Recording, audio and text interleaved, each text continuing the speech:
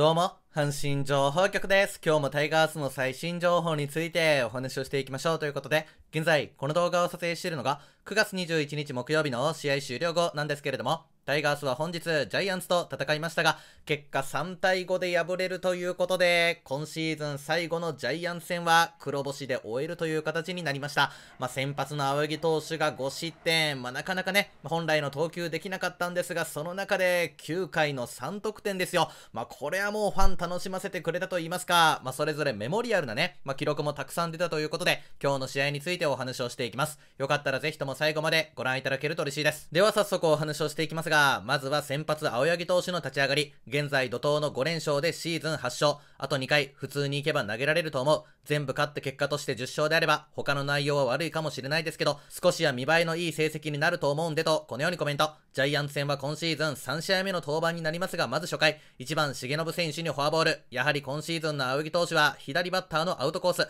これが微妙に外れることが多く、それによってカウントが苦しくなってしまう印象があります。で、このフォアボールもその傾向が出てしまったんですが、2番門脇選手には遅らせずキャッチャーゴロ。で、続く3番坂本選手空振り三振。4番岡本選手サードゴロで無失点スタート。右バッター2人に対して、内外きっちり投げ分けることができてました。で、続く2回は投球テンポがぐっと上がる。青柳投手の天敵、5番丸選手ファーストゴロ、6番秋広選手セカンドゴロ、課題の左バッターわずか3球で打ち取って、7番岸田選手ピッチャーゴロで三者凡退。青柳投手らしいゴロアウト炸裂で、3回も青柳投手のペース。8番吉川選手セカンドゴロ、中野選手もさすがの守備範囲で、9番赤星投手見逃し三振。雨の降る中の投球ですが、1巡目を無安打に抑え、2巡目突入の1番重信選手センターライナーで連続三振者凡退。3回を投げて球数36球、イニングを重ねるたびにどんどん良くなってきたと。で、ここで一旦スタメンの方を見ていきましょう。1番センター近本選手、2番セカンド中野選手、3番ライト小野寺選手、4番ファースト大山選手、5番サード佐藤選手、6番レフトノイジー選手、7番キャッチャー坂本選手、8番ショート木浪選手、9番ピッチャー青柳投手というスタメン。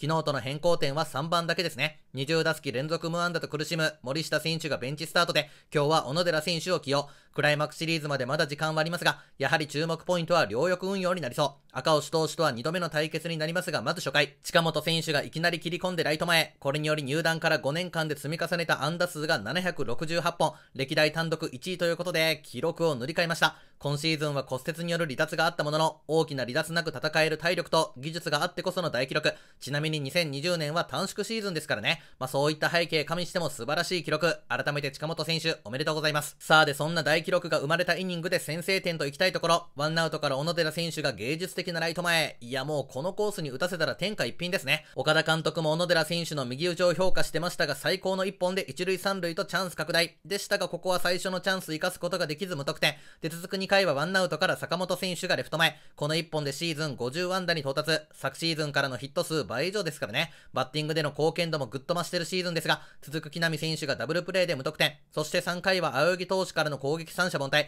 3回で球数42球。ヒットは3本出てますが、決めの1本が出ないという序盤3イニング。さあで試合は中盤戦突入。4回は2番から始まる打順ということで、踏ん張りどころになるイニングですが、先頭2番門脇選手にストレートのフォアボール。やはり外に外れるボールが出始めるとフォアボールにつながる。ただ右バッターが来てくれると、今日の青柳投手は一気に制球力が戻ってきた。3番坂本選手見逃し三振。4番岡本選手レフトフライ。そして天敵の丸選手にはフェンス手前まで持っていかれましたがセンターフライ。フォアボールを出した後の粘り強さはさすがです。で、タイガースも4回ワンアウトから大山選手が左中間真っ二つのツーベース。一時期9月は打率1割前半でしたが、7試合連続安打で一気に盛り返してきました。ただこの出塁を生かしたいところでしたが無得点。なかなかチャンスで1本出すことができず。そして5回の青柳投手は引き続き粘りを見せていく。先頭6番秋広選手セカンドライナー。中野選手がジャンピングキャッチで青柳投手を救い、7番岸田選手サードゴロ。で、ツーアウトから吉川選手に今日初ヒットを許しますが、9番赤星投手空振り三振で無失点。5回を投げて球数64球。被安打1本とリズムも悪くないですし、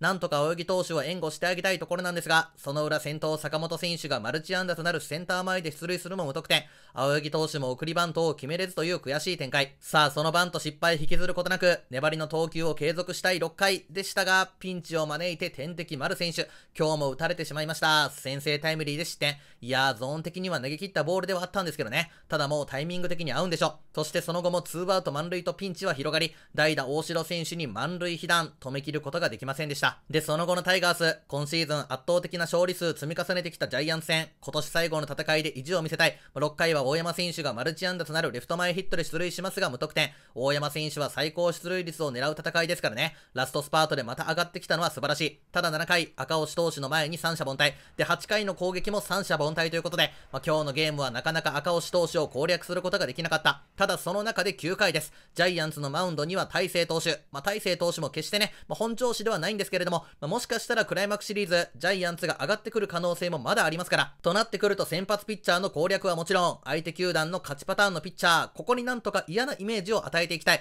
で、その中で9回のタイガース、いい攻撃でしたね。というのも先頭の代打、ミエセス選手がセンターへのホームラン。これ5号代打ホームランですよ。いや、素晴らしいバッティングでしたね。まあ、岡田監督がビールかけで、ミエちゃん主役ちゃうよと、まあ、成績に応じた暴れ方してください。まあ、このように爆笑を誘うね、まあ、言葉というのがありましたけれども、まあ、そこからミエセス選手素晴らしい一発、またぐっとね、まあ、状態上げていってくれると、このミエセス選手の一発というのは間違いなく魅力ですから、大勢投手から打ったというのも大きい。で、続く大山選手がライトへツーベース。これで今日大山選手は3安打。気づけば打率も2割9分1厘ということで、また上がってきました。そしてそして佐藤選手ですよ。まあ、9月の爆発ね、本当に素晴らしいものがありますが、大勢投手からツーラン。これで佐藤選手は21号。そしてシーズン打点数85ということで、キャリアハイに到達。いや、これで9月22打点目ですか。もうほんと8月9月、まあ、この夏場ね、シーズン最終盤でぐっと佐藤選手も上がってきましたが、まあ、今日はちょっと内容的にどうかなというところ、最後4打席目にこの一発ですからね。まあ、やっぱりこういう姿見せてくれると、改めて佐藤選手の魅力はたくさんあるなと感じます。で、その後も変わった中川投手から2アウトから長坂選手がヒットを打ったりと、いい攻撃たくさんありましたよ。まあ、中川投手からはね、結果的に点は取れませんでしたが、最後しっかり1本出して、一発出れば同点というところまで持っていけた、この攻撃はね、まあ、間違いなくクライマックスシリーズ以降、もしジャイアンツと戦うことがあれば、まあ、繋がる部分なんじゃないかなということで、結果的に敗れはしたものの、9回いい攻撃を見せてくれたんじゃないかなというふうに思います。で、岡田監督は試合終了後、青柳投手について問われると、最初は良かったと思うよ。まあ、2アウトからやからな。10勝がなくなった次回については、いやいやもういい、もういい、もうええわと、このようにコメント。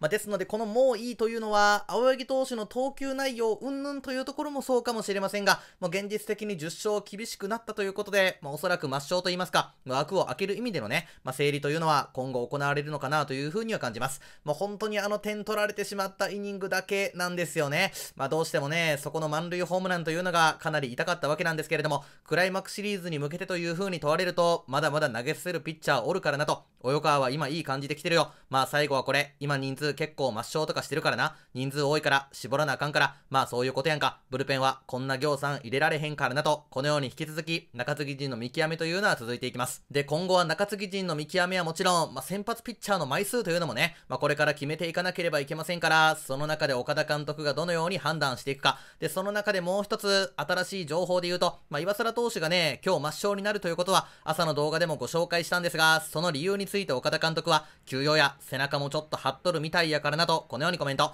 ですので今後は一軍に同行しながらも、遠征にはね、まあ、岩貞投手はついていかないということで、しっかり体力戻して CS に備えたいと思いますと、このようにコメント。まあ、本当に岩貞投手は思い返すと、開幕前、まあ、肩の張りがあって、シーズン途中は首の張り、で、今はまた背中の張りとということで、本当に満身創痍ですよ。まあ、その中で中継ぎ陣の柱として、2年連続50試合登板、自己最多の24ホールド。まあ、本当にここまでよく投げてくれたと言いますか、クライマックスシリーズに向けて、岩貞投手の力は絶対に必要ですからね。まあ、引き続きどういう中継ぎ整備があるか、この点も注目していきたいなと思います。はい、ということで、今回の動画では、本日9月の21日に行われた、ジャイアンツとの25回戦についてお話をされていただきました。結果は3対5で敗れるということで、今シーズン最後の伝統の一戦、球団記録を更新する19勝目は逃しましたが、それでもタイガース史上、ま、ジャイアンツに一番勝った18勝。いやいや、この内容というのは本当にすごいですよ。まあ、最終回ね、3点取って、もう簡単には終わらない、まあ、そういう攻撃というのを見せてくれましたから、まあ、しかもその3点の内容がホームラン2発ということで、盛り上がるところを見せてくれましたよね。ただ、青柳投手は5失点ということで、まあ、現実的に考えて、2桁勝利は厳しくなったかなというのが正直なところ。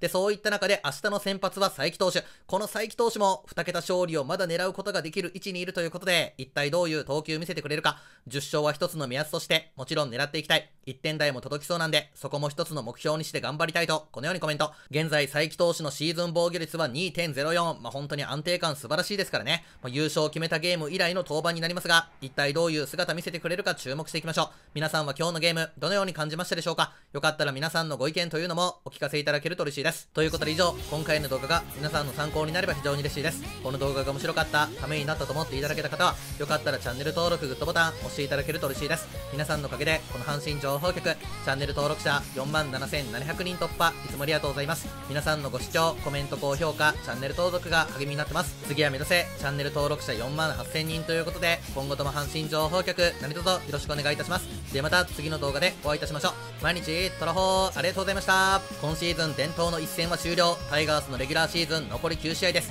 一体どういう戦い待ってるか、引き続き注目していきましょう。ではまた